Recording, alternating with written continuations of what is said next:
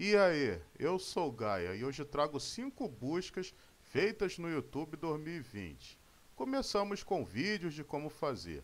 O tempo inteiro as pessoas estão buscando saber algo que além de aprenderem, ainda traz vantagem, custo-benefício, por conta de não precisarem mandar alguém fazer ou ter que comprar. E casos assim, eu posso mencionar alguns como embolsar uma parede, como fazer um yakisoba, como fazer uma máscara, como fazer um microfone de lapela, como fazer um banner para o canal do YouTube, como fazer uma thumbnail chamativa. Quer dizer, então, são muitas coisas que se pode buscar e até criar usando essa tag de como fazer.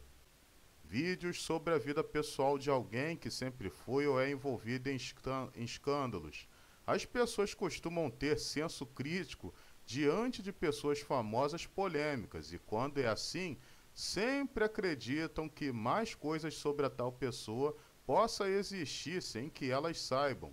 E por isso elas buscam na lupa do YouTube por perguntas até bizarras e relacionadas ao tipo de comportamento desta pessoa. Vídeos sobre gameplay de games recém-lançados. A primeira coisa que um game quer saber ao abrir um vídeo de uma gameplay de um jogo recém-lançado são logo as seguintes coisas. Roda no meu PC? É exclusivo ou multiplataforma? Qual será o valor do jogo? Tem gráficos mais ou menos que talvez rode no meu PC? É daquela empresa que sempre faz jogos para o meu console? Ou seja, em todo tipo de vídeo existente nessa plataforma, as pessoas querem agregar algo em suas vidas, mesmo que seja apenas uma gameplay. Vídeos sobre religião ou seitas.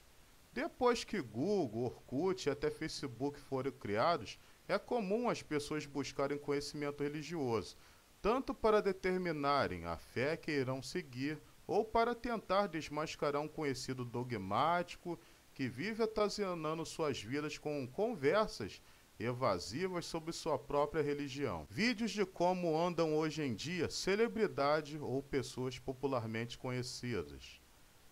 É muito comum buscarem esse tipo de vídeo até para saberem se os excessos que esses artistas cometeram no passado os fez mudar os rumos da sua vida, ou para saber se os excessos do artista deixaram a saúde dele deteriorada ao passar dos tempos, e até mesmo para saberem se aquele seriado ou filme ou telenovela que o, art o artista contracenava se terá uma continuação ou um remake.